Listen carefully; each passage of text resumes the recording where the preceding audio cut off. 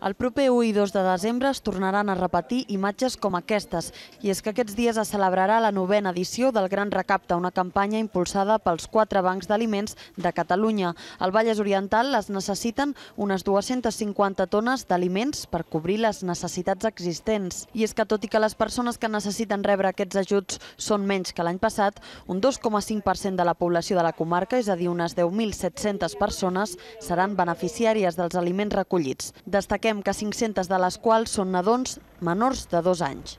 És la novena vegada que es fa aquesta campanya i és un, un estímul a la gent perquè sigui solidària amb les persones que necessiten aliments per poder viure i per no passar fam. Els aliments que es pretén que es puguin recollir molts són aliments de llarga durada i ens referim sobretot a l'oli, a la llet i a les conserves, bé siguin de peix o de verdura.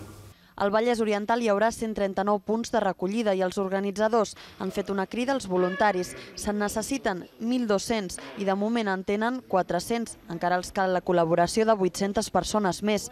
Apuntar-se és molt fàcil. Es pot fer a través del web www.granrecapta.com. Primer trien la localitat, sigui Granollers, sigui les Franqueses, sigui Mollet, etc. Després trien el punt de recollida o súper i després el torn que volen participar.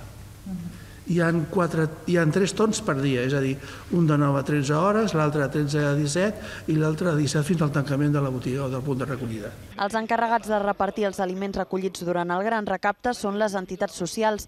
Al Vallès n'hi ha un total de 28 i en el cas de Granollers una d'elles és el Xiprer, que dona servei a 2.800 persones. Nosaltres som beneficiaris d'aquestes 150 banyeres i això ens ajuda a tenir proveït el magatzem. Jo conto que fins a finals de febrer, principis de març, tenim menjar assegurat aquí. O sigui, que ens suposa moltíssim.